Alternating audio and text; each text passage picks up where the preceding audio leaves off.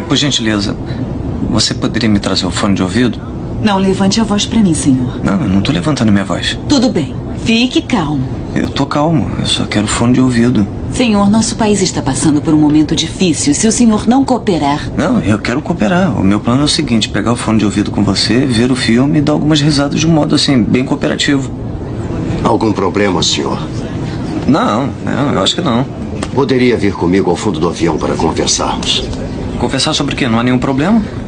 A aeromoça ficou me ignorando enquanto eu pedi o fone Fique de calmo. Não, eu tô calmo. Qual o problema de vocês? Vocês? Não, não, peraí, pelo amor de Deus. Eu não me referi à sua raça, não. Eu tava falando de vocês dois. Senhor, eu não vou tolerar nenhum tipo de comportamento racista nesse avião. É um momento muito difícil para o nosso país. Ah, Não, eu sei disso. Eu não sou racista. Eu só quero assistir o filme. Peraí. Eu só vou dizer mais uma vez, senhor. Fique calmo. Eu tô calmo!